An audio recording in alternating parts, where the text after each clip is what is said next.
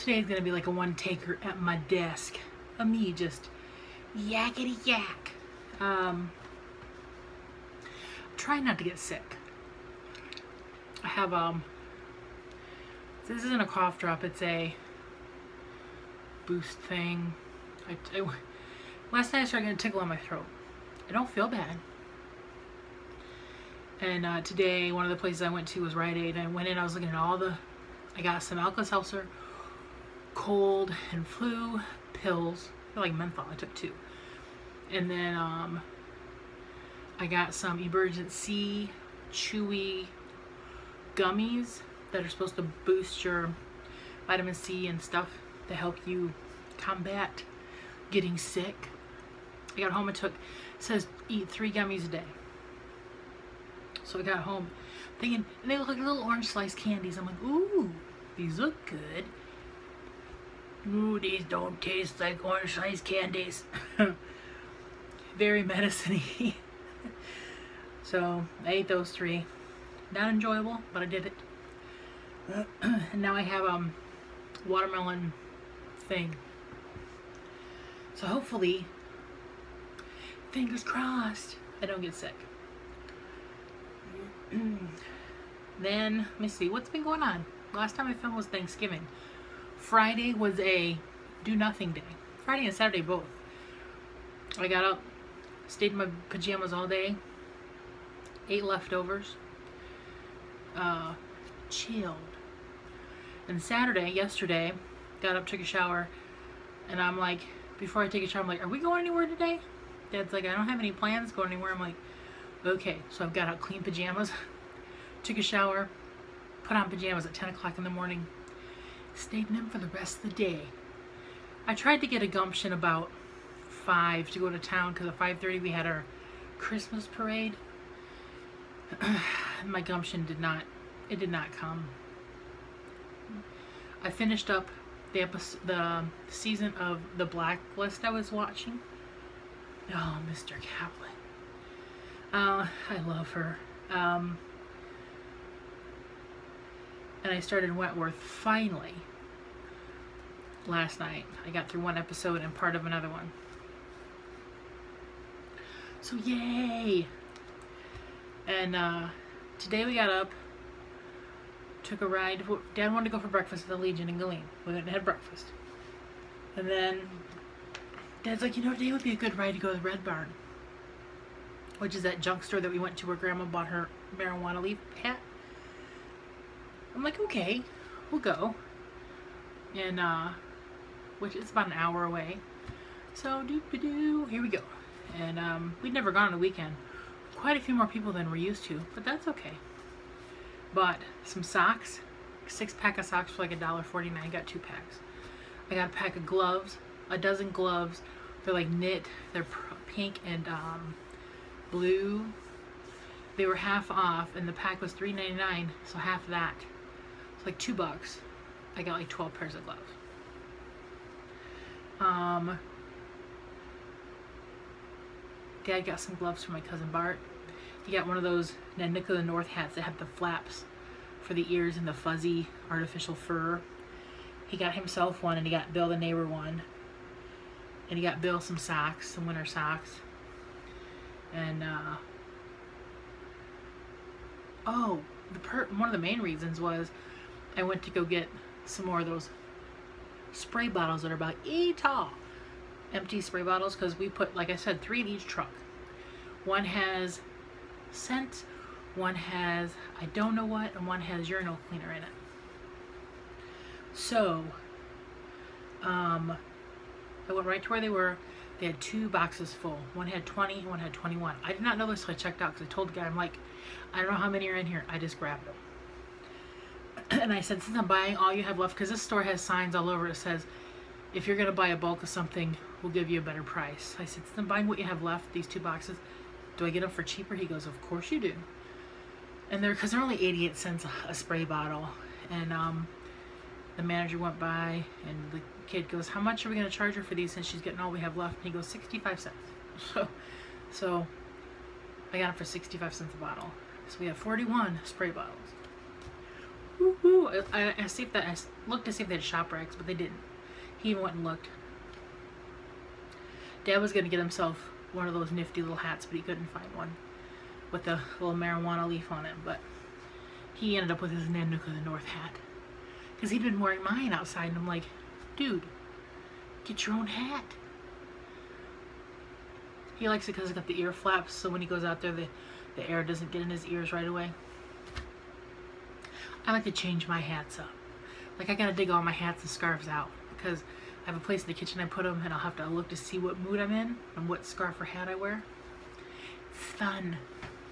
Since I don't wear jewelry or anything like that, that's my accessory. Uh, so we went shopping, came home. Bill, a neighbor, came over. We gave him his socks and his hat. And uh, he wanted me to help him. He has a smartphone, but he doesn't really know how to use it that well. And uh, and he has he does not have an iPhone. S- Samsung Android phones confuse the heck out of me. Really, they do. So he didn't have much space in there, and he couldn't wouldn't pull up the gallery because there wasn't enough space. And I was trying to figure out how to delete some stuff, and I'm like, dude, let me just take a picture on my phone and send it to whoever you need to send it to, and I'll just tell them it's from you. So it had something to do with his insurance. He had to uh, send a declaration of something because he's switching insurance companies. So, so mine, I went click, mail, gone. Two seconds. I sat there on his phone for like 10 minutes trying to figure stuff out. I'm like, oh, I do not like the Android. Um, so what did you guys do for your weekend? Did anybody go Black Friday shopping? I've never been one to do that. Now back in the day, my dad and his brother would do it once in a while. Did my mom? My mom and dad did it a few times. Dad went a couple years ago, but he went to a farm store on Black Friday. It isn't quite the same craziness as like Best Buy or that kind of thing. One of our um, news guys was outside of our mall. Apparently, his video has been going a little bit viral, and the they'd sent him there to cover the Black Friday frenzy, and he's outside the mall. There's nobody there. It's like here I am. Nobody's here. First time I get to cover this. Nobody's here. he said I got up at 3:30 in the morning to get here for this. Nobody's around. it was cracking me up. Um, got most of my work done, but then Bill came, so I got to get a deposit ready for probably taking on Tuesday. Tomorrow, Dad's gonna go to the dentist and finish up the work. They'll take off the temporary crown or cap or whatever the heck it is. It's over here, and uh, put on the permanent one. So he'll have fun. But then tomorrow night he goes to Monday Night Football, and I'll be in a peaceful house and be able to catch up on The Walking Dead and I I'm I'm like five episodes uh, still of finishing American Horror Stories. It kind of pittered out, and then I stopped watching it. I waited till a bunch of them. They're all done now. So I'll watch that. Probably not tomorrow night, because I'll probably catch up on some other things. I would love to go to Walker Stalker and Heroes versus Villains in Chicago. It's like two cons in the same building, and the ticket gets you into both. Oh, that'd be awesome. But yeah, nah, probably not gonna happen. Anything else? I did complete another box of Christmas cards yesterday. They're all in this box right here. I have, I'm halfway done. So I have two boxes of 40 and about 25. I have a littler box here. That should do and get everybody done. I need to get done for business. I have a little callus right here from where my, my finger sits on the pen. But I will get them. Dang it. I will get them. Then I want to say my cousin Joanne come over this week to put up the Christmas tree. And next weekend is treat making weekend. It'll be on Because yesterday, no. Friday, I went out in the garage, rearranged some things, went out to the back garage, grabbed a table, like we have a six foot banquet table, grabbed that, brought up the front garage. Dad's like, You need help? I'm like, Nope, I got it. And um, I set that up because I shuffled one table down and I had room for this empty table. Then I said, Nothing goes in this table. This table is for treat making. He goes, I know. I don't want to get a whooping. I'm not putting anything on that table. I'm like, okay. You will get in trouble, mister. My dad has a big habit of it. So there's an empty table sitting in the garage or something, it'll start getting stacked upon. So, um, let me give you a quick update on my friend's grandma, Nikki. Her grandma came home Thanksgiving. Um, she has physical therapists that come, uh, occupational therapists that come, nurses that come a couple times a week. She did have to get a feeding tube. Um, she hasn't sat up in her chair yet. Nikki was kind of freaked out last night. We were talking. She said Gram felt hot, so she ran to the um, Rite Aid up the road and bought a thermometer, the kind that is uh, infrared that you don't have to wake her up to take her temperature. You just kind of put it close to their forehead and it reads the temperature without even touching them, apparently. They fancy. And uh, she was running a temperature last night of like 101.3. So she called the nurse immediately and said what was going on. And they said to give her some NyQuil. So she gives her that in her G tube. And her fever broke about 5 in the morning because um, she was hoping she didn't have to call the ambulance. Because, you know, they didn't want pneumonia to set in or anything like that. So she had a very tense evening. Um, so she uh, got Gram all settled today. Gram was more talkative today, jibber jabber. Sometimes you can't understand her. Um, she was even laughing some, so that's good. She still has not sat up in her chair. So the only time she can get food or water is through her G tube.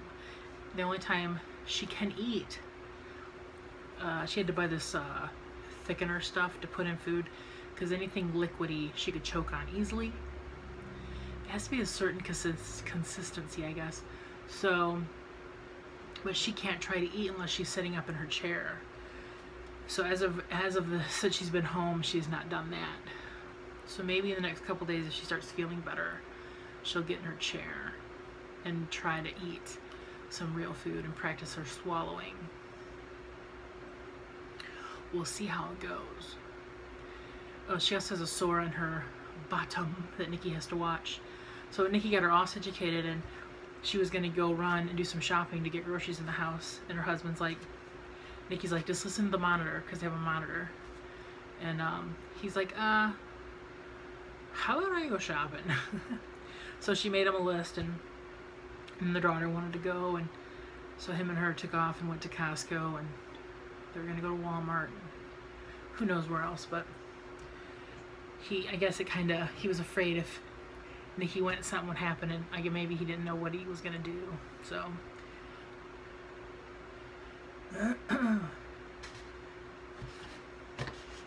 Alright, I'm going to shut up now because this is going on 14 minutes of just a ridiculous babble. I will see you all later. Bye.